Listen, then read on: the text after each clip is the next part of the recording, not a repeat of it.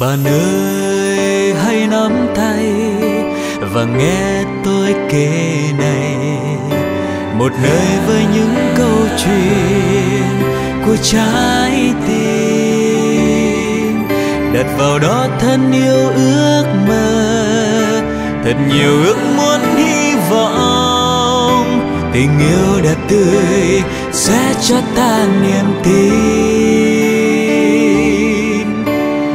Đoàn tôi đến gieo mầm xanh tỏa bóng mát tâm hồn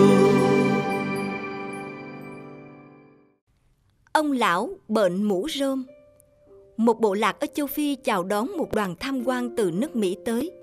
Rất nhiều du khách thích thú dừng lại mua những chiếc mũ rơm đầy màu sắc.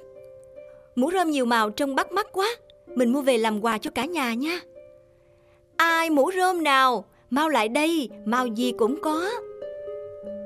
Chà, những chiếc mũ rơm của ông cụ này được tạo hình vô cùng khác biệt. Hơn nữa màu sắc phối hợp cũng rất bắt mắt. Tôi cá, đây là người khéo tay nhất nhì ở vùng này đó. Công nhận ông cụ bệnh mũ rất lành nghề, mà trông ông cụ làm việc nhàn nhã thảnh thơi ghê ha. Chắc chắn tôi sẽ ủng hộ cụ vài chiếc. Mũ rơm tinh xảo như vậy, nếu như vận chuyển về nước Mỹ, nhất định sẽ bán được giá tốt. Ông à, mũ rơm này bao nhiêu tiền một chiếc vậy? 10 đô một chiếc. Ái chà, nếu như mình mua một ngàn chiếc mũ đưa về nước tiêu thụ thì nhất định sẽ phát tài rồi. Nếu như tôi đặt mua khoảng một ngàn chiếc mũ thì mỗi chiếc ông sẽ bớt cho tôi bao nhiêu? Nếu như thế, tôi sẽ lấy mỗi chiếc mũ giá 20 đô. Tại sao lại có chuyện vô lý thế?